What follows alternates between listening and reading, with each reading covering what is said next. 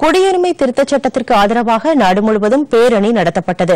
கொல்கத்தாவில் நடைபெற்ற பேரணியில் கலந்து கொண்ட பிஜேபி செயல் தலைவர் ஜே பி நட்டா குடியுரிமை திருத்தச் சட்டத்தால் யாருடைய குடியுரிமையும் ரத்து செய்யப்பட மாட்டாது என்று திட்டவட்டமாக தெரிவித்தார். குடியுரிமை திருத்தச் சட்டத்திற்கு எதிரான போராட்டம் குறைந்துள்ள நிலையில் சட்ட திருத்தத்தை ஆதரித்து பேரணி நடத்தப்பட்டு வருகிறது. பிஜேபி மற்றும் பல்வேறு அமைப்புகள் சார்பில் நாட்டின் பல்வேறு பகுதிகளிலும் பேரணிகள் நடைபெறுகின்றன. மேற்கு வங்க தலைநகர் கொல்கத்தாவில் நடைபெற்ற பேரணியில் பிஜேபி செயல் தலைவர் ஜே பி நட்டா கலந்து கொண்டார்.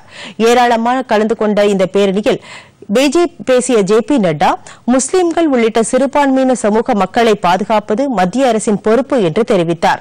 வாக்கு வங்கி அரசியலுக்காகவே குடியுரிமை திருத்தச் சட்டத்தை மம்தா பானர்ஜி தலைமையிலான அரசு எதிர்ப்பதாக குற்றம் சாட்டினாா் இந்த சட்ட திருத்தத்தால் யாருடைய குடியுரிமையும் பறிக்கப்படாது என்றும் மக்களுக்கு குடியுரிமை வழங்குவதே இந்த சட்டத்தின் நோக்கம் என்றும் ஜே பி நட்டா கூறினார்.